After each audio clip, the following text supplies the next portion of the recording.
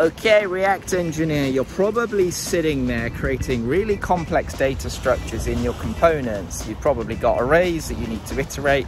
You need to pull out primary or foreign keys and then find other objects, which you then need to bring in. And then you're going to have to create sub-objects, which eventually are going to be rendered into things like lists and buttons, etc., etc. You're probably even going off to backend services and grabbing IDs and tokens and refresh things and bringing them backwards and forwards.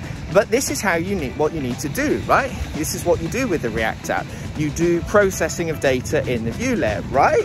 Wrong. You don't need to do that at all. Let me tell you why. So traditionally, we're taught that the React layer will do everything for us and they, it introduces things to us like props and state, and it will help us with things like hooks and we even see in the next version of React, with React Suspense, it will do things like allow better asynchronous programming.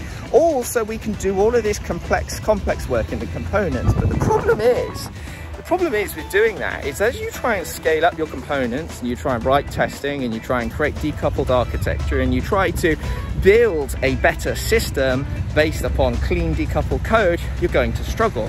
Why? Because you think you're being forced by React to do everything inside the components because let's face it, React is the way, right? Well, this is not strictly true. Instead of allowing React to do everything, what you should actually do is to take a slightly alternative approach. I'm going to explain what that means now. What you should do is you should get your React component. You should say, okay, there are things that React is good at, okay? They're good. It's good at tracking things like low-level state. It's good at having small amounts of props. But what we want to do is we want to shield the React layer. We want to shield the component from doing complex programming by taking it out of React. And so what we do is we build something called a facade. And this facade, we only allow one thing to come through this facade to the React component.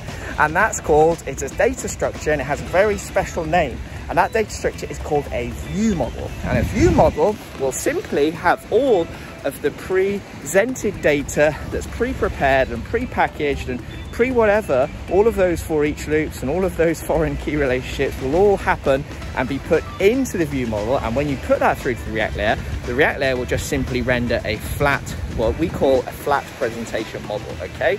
And how do I know this? Well, the flat presentation model is something that we teach in something called the UI Architecture Academy.